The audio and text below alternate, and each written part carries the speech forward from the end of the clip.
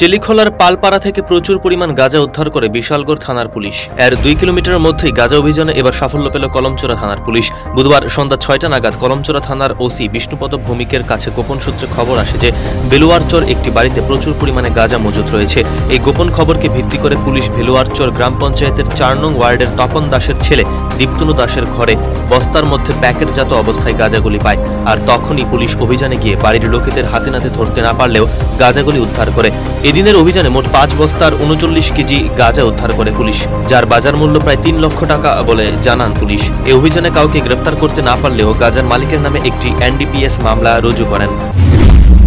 আজকে আমরা গোপন সূত্রে ভিত্তিতে ভেলোয়ারচর চার নম্বর ওয়ার্ডের অন্তর্গত দীপ্তম দাস নামে একজন ব্যক্তি- ব্যক্তির বাড়িতে অপারেশন চালাই এবং সেখান থেকে আমরা পাঁচটি বস্তাতে গাঁজা পাই, যার ওজন প্রায় উনচল্লিশ KG.